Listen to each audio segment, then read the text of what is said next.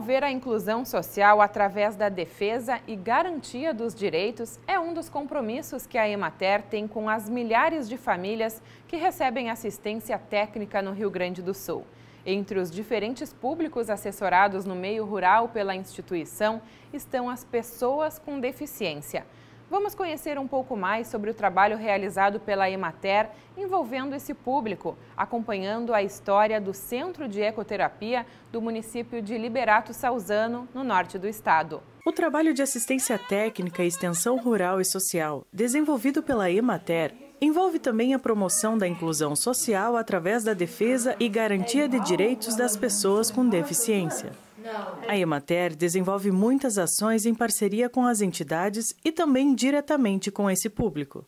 No município de Liberato Salzano, com o apoio da Emater e da Prefeitura, a Associação Municipal das Pessoas com Deficiência conquistou um centro de ecoterapia para o município. A extensionista social da Emater, Luciene Duzo, conta como iniciou essa história. A Associação Municipal dos Deficientes aqui de Liberato, então já existe há algum tempo, né? E a, eu fiz um curso de deficiências múltiplas, um curso de pós-graduação, e nesse curso eu fiz um treinamento em ecoterapia. E eu vi assim a grande vantagem né, do trabalho. Hoje a ecoterapia é considerada uma das melhores fisioterapias para pessoas com deficiência. E como eu tenho uma filha deficiente, né, uh, por isso o meu interesse em fazer o curso, eu uh, também, né, fazendo parte da associação, quando assumi a presidência então da associação, eu, uh, junto com o grupo, com a equipe, uh, pensamos em implantar o projeto de ecoterapia aqui no município de Liberato Salzano, né, para atender a princípio as pessoas com deficiências do município e no futuro também atender a região, né, porque nós temos num raio de 200 quilômetros, nós temos a, são três centros de ecoterapia apenas aqui na região. Então a gente iniciou o trabalho, uh, tivemos a parceria, o apoio da Prefeitura Municipal, né, que nos cedeu o espaço, uh, construímos então o Centro de Ecoterapia em conjunto com a sociedade, fazendo rifas beneficentes, fazendo uh, ações né, para angariar fundos, para que a gente pudesse então construir o Centro de Ecoterapia no município e colocar ele em funcionamento. Né? Segundo a extensionista da Emater, o Centro de Ecoterapia foi uma grande conquista para o município. Liberato Salzano tornou-se referência por essa grande realização e pelo esforço dedicado às pessoas com deficiência do município. E hoje nós temos 29 crianças, né? Crianças, a gente fala, mas pessoas com deficiência que, que são beneficiados com esse trabalho de ecoterapia. Temos também outras pessoas aqui no município que precisam uh, passar por uma uh, convalescência de doença, né?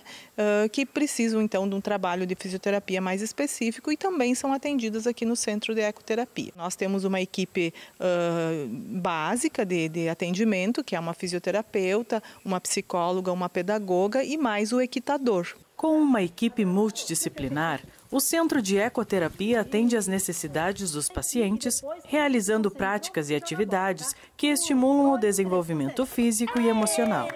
Através desse trabalho, os resultados são visíveis logo no início do tratamento. E é um, e é dois, e é três, e foi. São realizados exercícios para melhorar o desenvolvimento motor dos nossos praticantes, uh, melhorar a amplitude de movimento. Temos pacientes com sequelas de AVC, então que estão paralisados, né, algum membro, para melhorar controle de tronco, força muscular, uh, ganho de estabilidade, equilíbrio.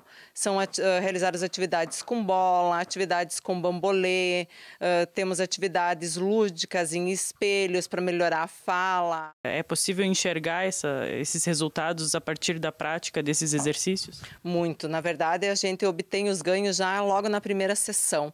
É visível o ganho, o ganho deles, até porque em cima do cavalo é uma atividade onde permitem eles mais mobilidade, entende? Onde eles conseguem ter uma liberdade de movimento muito maior, onde eles não estão pensando exatamente naquilo que eles estão praticando e com isso se consegue um objetivo muito maior do que aquela atividade, na verdade, rotineira, onde eles não saem daquilo e acaba se criando uma rotina e não tendo muitos ganhos. Então, acho que a Eco traz muito benefício nesse sentido. As melhoras são visíveis, muita, muito ganho do equilíbrio, do controle motor, que a gente às vezes em clínica não consegue, mas que em cima do cavalo se tem um trabalho involuntário com um ganho muito grande. E na questão psicológica, emocional, que tipo de trabalho é realizado com os alunos? Uh, o cavalo ele é um ser imponente e ao mesmo tempo ele é dócil.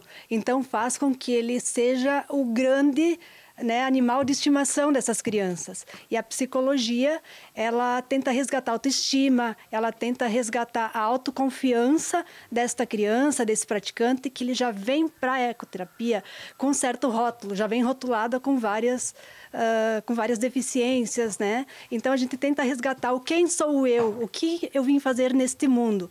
Então a, a, o nosso processo de psicologia é adaptação ao cavalo e resgatar todos esses essas confianças, esses medos que a criança traz até ao nosso centro de terapia. A Emater esteve presente durante todo o processo para a conquista do Centro de Ecoterapia e continua colaborando com a associação. Dessa forma, a instituição mantém o seu compromisso de promover a inclusão social através da defesa e garantia de direitos. Então, a Imater é uma empresa que presta uh, serviço de assessoria, defesa e garantia de direitos e nós trabalhamos então com a Associação dos Deficientes né, nessa, nessa assessoria e a gente então tem todo um trabalho de assessoramento, de assistência técnica no centro de ecoterapia. Né? Uh, na parte de fora, uh, nós, temos, nós tivemos um veterinário atuando aqui no município, hoje ele está próximo de nós, então ele presta toda a assessoria com relação ao cavalo, alimentação, planejamento de pastagem, então tudo isso é feito né, através da Imater. Também nós fizemos a arborização do local, fizemos o plantio de, de, de plantas uh, uh, que são importantes né, para que funcione adequadamente, né? Lugares de sombra, nós podemos fazer ecoterapia tanto dentro do ginásio como fora, né? Ao ar, ao ar livre, e isso também beneficia mais ainda, né? A, o trabalho de ecoterapia.